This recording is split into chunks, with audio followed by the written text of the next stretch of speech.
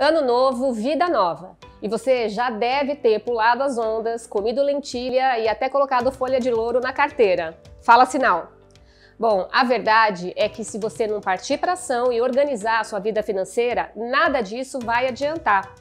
A conquista dos nossos sonhos pode não ser atingida não por falta de dinheiro, e sim por falta de planejamento. E nesse vídeo eu vou te dar algumas dicas de como se organizar financeiramente e partir para atingir os seus objetivos.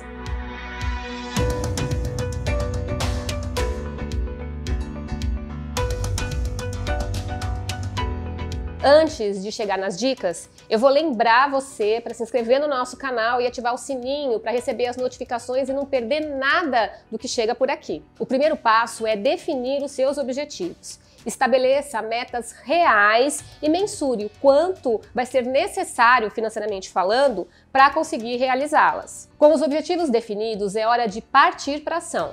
Mas é importante lembrar que pode não ser fácil. Disciplina, motivação e atitude são essenciais para você conseguir chegar naquilo que deseja. Comece organizando o seu orçamento. Saiba o que entra e o que sai da sua conta.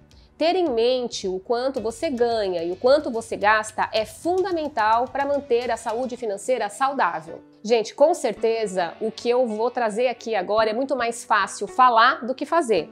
Mas, se você tiver dívidas, é muito importante que priorize o pagamento delas. Olha só, além de tentar negociar as dívidas que já estão abertas, para as pessoas que têm mais de uma dívida ativa e não têm como fazer o pagamento de todas elas ao mesmo tempo, opte por aquelas que têm as taxas de juros mais altas, como por exemplo o cheque especial e o crédito rotativo, porque a cada mês que passa elas consomem mais a sua renda. Com as dívidas quitadas e o seu orçamento organizado, com controle do que entra e o que sai da sua conta, já é possível guardar um pouquinho de dinheiro para conquistar os seus objetivos. E, claro, fazer uma reserva de emergência, porque, gente, ela é necessária. A reserva de emergência nada mais é do que poupar um dinheiro ao longo de um tempo para cobertura de despesas fixas em caso de imprevistos funciona como uma espécie de proteção em situações urgentes, como por exemplo demissão, para que nesses casos nem o estilo de vida